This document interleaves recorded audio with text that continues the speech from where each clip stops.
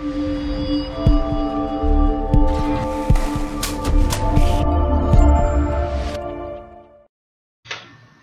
good morning! How are you guys doing this Tuesday morning? I hope you are getting your week started off with a lot of excitement and vigor and you're ready to go at it this month.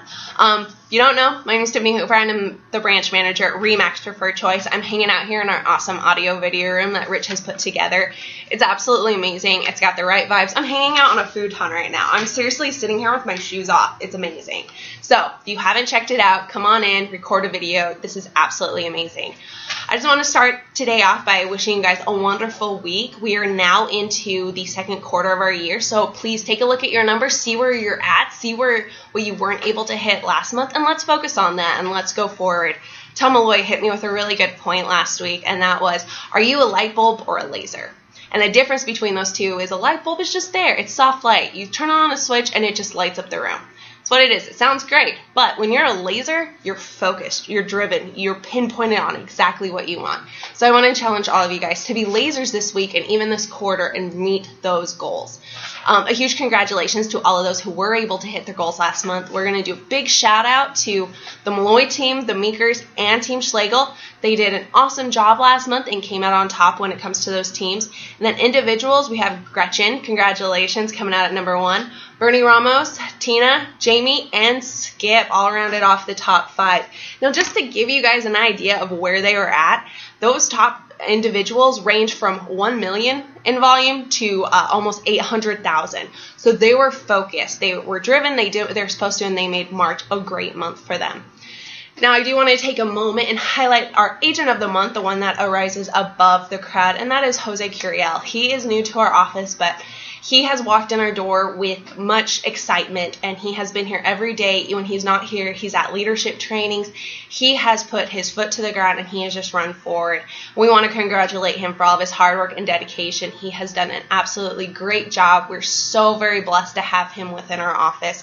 And he's doing wonderful things and he's coming back and sharing those great things with us. So if you ever get a chance, stop by, talk to him. He knows what he's doing. He's willing to share and he's amazing. So congratulations, Jose. I've got a little gift for you in the office, so please feel free to stop on by. Um, just a few things coming up this week. Brian Buffini starts, so if you're interested in getting this started, I highly recommend it. Brian Buffini is known throughout the world for his success in real estate training, and he is very focused on making your transactions less transactional but more relational. And we all have that dream goal of getting to the point where we don't have to market for business, we don't have to go looking to fill our pipeline, but instead it comes to us. And he has made it his mission to give agents the tools to do that. And so starting on Wednesday from 9 to 10:30, we are doing his webinar in our office. Come on in, we're going to have breakfast. Please let me know if you're coming. We will have your binder all printed out and ready to go just for you. So you can come each and every week and take part.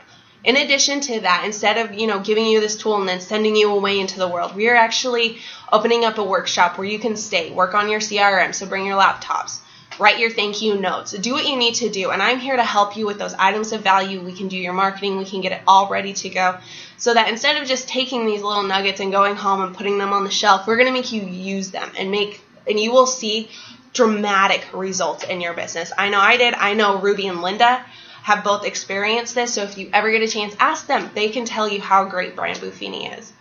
Also, finally, my big excitement is uh, on April 26th, we are having a very special night dedicated to you guys. So we have gone through and we have a hotel that has opened up one of their rooms to us. We will be having dinner. We will be doing a silent auction benefiting Children's Miracle Network. And we are going to have an awards night in honor of you guys.